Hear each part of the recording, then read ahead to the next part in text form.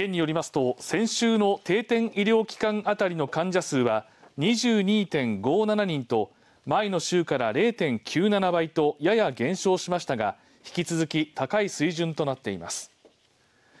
また今月1日から29日までの県内の救急搬送件数は4000件で去年おととしの搬送件数を超え新型コロナの流行が始まって以降最も多くなっています。県は手洗いや十分な換気など基本的な感染対策を呼びかけています。